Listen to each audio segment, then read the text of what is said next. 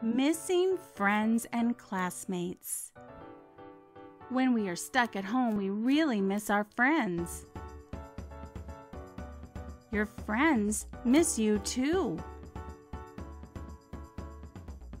When we need to keep a social distance, we are helping all of our friends and our community stay healthy.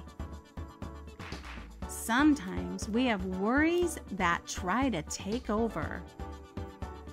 When you are feeling sad or worried, the best thing to do is get busy. Sometimes you will need to play by yourself. What are some fun things that you like to do? Your parents might need your help too. They may need time to focus on their jobs or have some quiet time alone. You can ask to talk to friends on the phone or with a computer.